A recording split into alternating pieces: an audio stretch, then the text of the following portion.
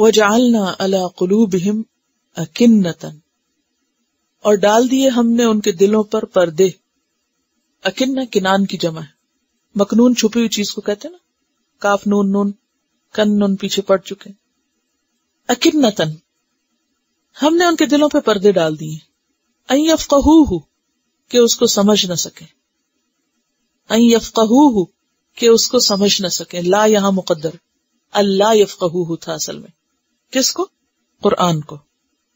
वफी आदान हिम वकरा, और उनके कानों में भी बोझ है, बहरापन, गरानी व इदा दकर तरब कफिल कुरानी और जब तुम ज़िक्र करते हो अपने रब का कुरान में, वहदहू अकेले उसी का, यानी एक रब का वल्लो मुँह मोड़ जाते हैं।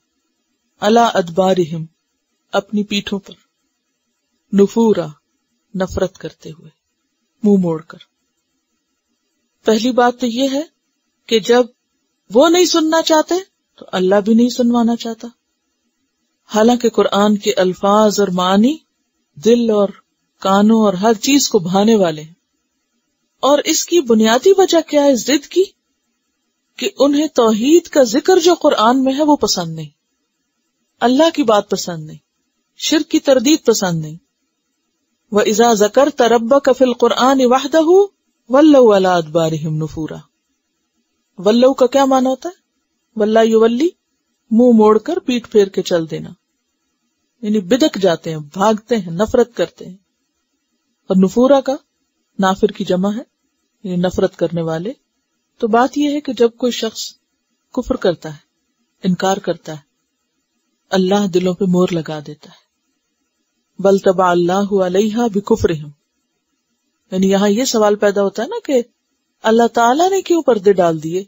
और अल्लाह ताला ने उनके कान क्यों बंद कर दिए? अल्लाह ताला क्यों नहीं उन्हें सुनने देना चाहता? क्योंकि वो खुद सुनना नहीं चाहते। उनके अपने दिलों में एक हसद उनके अपने दिलों में बीमारी। अल्लाह ने उनकी बीमारी और बढ़ा दी। और उनसे तौफीक और सलाहियत छीन ली है।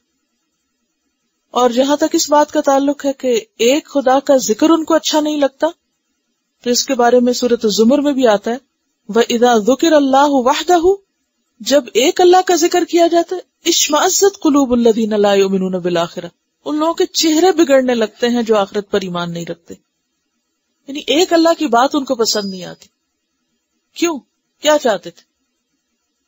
असल में गैर अल्लाह की मोहब्बत जब दिलों में इतनी जम जाए कि हर चीज़ वही बन जाए तो फिर उसको छोड़ के किसी और का ज़िक्र तो अच्छा नहीं लगेगा ना? नहीं, छोटे बच्चों को भी आपने देखा होगा कि जब वो अपनी किसी दुनिया में मशगूल होते हैं तो आप उन्हें कुछ भी कहें, खाना खा लें, उन्हें ध्यान देंगे, कुछ पढ़ लें, नमाज़ पढ़ें, कुछ करें, परवाही नहीं। उनको कोई दूसरी चीज़ का ज़िक्र अब अच्छा नहीं लगता, खा वो कितनी अच्छी चीज़ क्यों ना हो? अब अल्लाह का ज़िक्र तो दिलों का इत्मीनान और आँखों की ठंडक और दिलों का सुरूर है। लेकिन उन्हें क्यों नहीं अच्छा लगता? उनके चेहरे क्यों बिगड़ते हैं? क्योंकि वो किसी और चीज़ की मोहब्बत में ऐसे मुबतला है, यानी गैर अल्लाह की या बुतों की, या वट एवर जिसका भी जो बुत है। किसी का माल है तो किसी का इकतदार है तो किसी के पत्थर के बुत हैं, जो भी हैं। तो उनको सब छोड़ना, यानी तोहीद का सबक उनको अच्छा नहीं लगता। तोहीद की बात से बिदकते हैं।